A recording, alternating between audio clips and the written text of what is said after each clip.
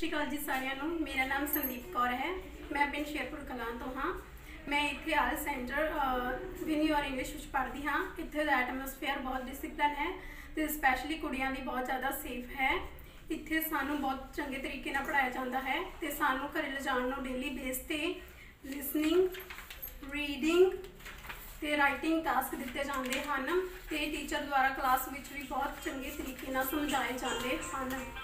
ਤੇ ਇਸ ਤੋਂ ਇਲਾਵਾ ਜਦੋਂ ਅਸੀਂ ਐਡਮਿਸ਼ਨ ਕਰਾਉਂਦੇ ਹਾਂ, ਉਸ ਦੇ ਨਾਲ ਸਾਨੂੰ ਬੂਸਟਰ ਕਿੱਟ ਦਿੱਤੀ ਜਾਂਦੀ ਹੈ ਜਿਸ ਦੇ ਵਿੱਚ ਜਿਹੜਾ ਮਟੀਰੀਅਲ ਇਸ ਵਿੱਚ ਐਡ ਹੁੰਦਾ ਹੈ, ਉਹ ਸਾਡੇ ਲਈ ਬਹੁਤ ਹੈਲਪਫੁਲ ਹੈਲਪਫੁਲ ਹੁੰਦਾ ਹੈ ਐਗਜ਼ਾਮ ਟਾਈਮ ਤੇ ਇਹਦੇ ਇਹਦੇ ਨਾਲ ਸਾਨੂੰ ਇੱਕ ਕਿੱਟ ਦਿੱਤੀ ਜਾਂਦੀ ਹੈ, ਜਿਸ ਵਿੱਚ ਹੈੱਡਫੋਨਸ ਹੁੰਦੇ ਹਨ।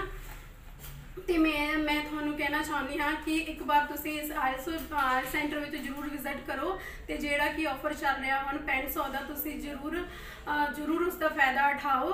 ਤੇ ਜਿਹੜੇ ਵੀ ਲੋਕ ਅੱਕ ਚੁੱਕੇ ਹਨ, ਥੱਕ ਚੁੱਕੇ ਹਨ ਆਇਲਸ ਦੁਬਾਰਾ ਦੁਬਾਰਾ ਕਰਕੇ ਤਾਂ ਆਈ ਮੈਂ ਰਿਕਮੈਂਡ ਕਰਦੀ ਹਾਂ ਕਿ ਇਹ ਸੈਂਟਰ ਬਹੁਤ ਵਧੀਆ ਹੈ ਕਿਉਂਕਿ ਇੱਥੇ ਦੇ ਟੀਚਰ ਬਹੁਤ ਜ਼ਿਆਦਾ ਕੋਆਪਰੇਟਿਵ ਤੇ ਬਹੁਤ ਜ਼ਿਆਦਾ ਕੁਆਲੀਫਾਈਡ ਹਨ, ਜਿਹੜੇ ਕਿ ਬੱਚਿਆਂ ਨੂੰ ਚੰਗੇ ਤਰੀਕੇ ਨਾਲ ਸਮਝਾਉਂਦੇ ਤੇ ਪੜ੍ਹਾਉਂਦੇ ਹਨ। Thank you